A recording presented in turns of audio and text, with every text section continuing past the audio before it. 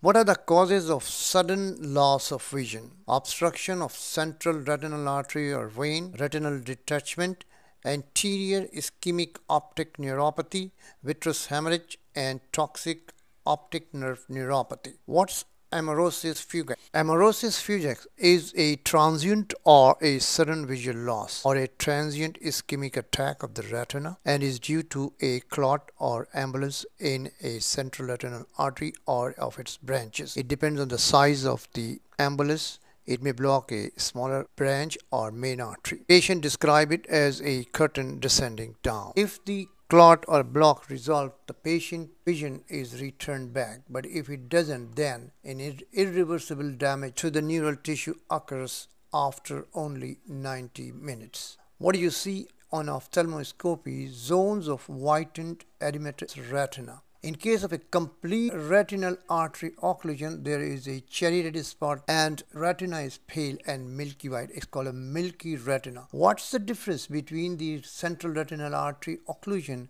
and the central retinal vein occlusion? Both of them cause sudden painless acute loss of vision. So in central retinal artery occlusion, there is milky retina with cherry red fovea. So what are the risk factors are occurs in males over the age of 40, hypertensive, Caucasian, smokers and diabetic. What are the most common causes for the central retinal artery occlusion? In old age it's the atherosclerosis but in younger age it's the giant cell arteritis that causes central retinal artery occlusion. Other causes include descending aneurysm and arterial spasms. What are the sources of central retinal artery occlusion?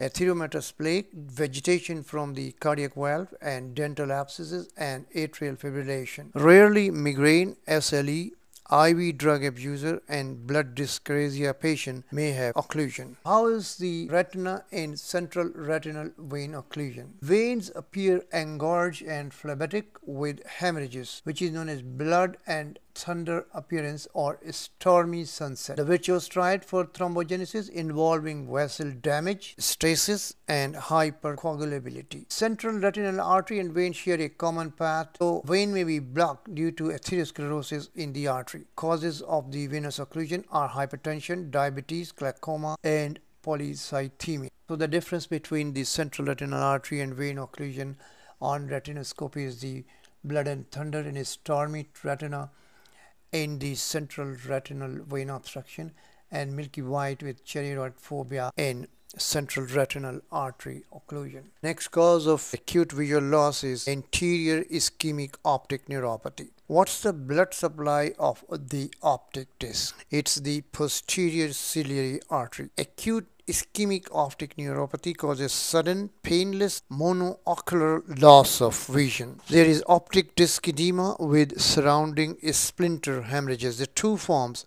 arteritic which is less common only 5% of patients with giant cell arteritis. and how you diagnose the giant cell arteritis is confirmed by temporal artery biopsy and why do you give high doses of steroid in these cases to prevent blindness in the other eye. Non-arteritic cases are the most common in rest of the cases, eh, but there is no treatment for them. Toxic optic nerve neuropathy is the other cause of acute visual loss. What are the substances which cause toxic optic neuropathy?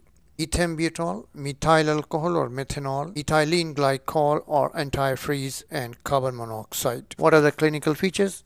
acute visual loss with bilateral optic disc swelling and central or cecocentral scotoma. Toxic optic neuropathy can also cause gradual visual loss without optic disc swelling. So what are the substances that cause insidious visual loss? Amongst the cardiac drugs that cause in, insidious visual loss, imidazole digitalis, amongst the antibiotics ciprofloxacin, TB drugs, INH and streptomycin, and sulfur drugs. Deficiency states of starvation, malabsorption, and alcoholism can also cause insidious visual loss and toxic optic nerve neuropathy. What should be checked in a patient with bilateral scotomas and optic pallor? Vitamin B1, B12, and folate.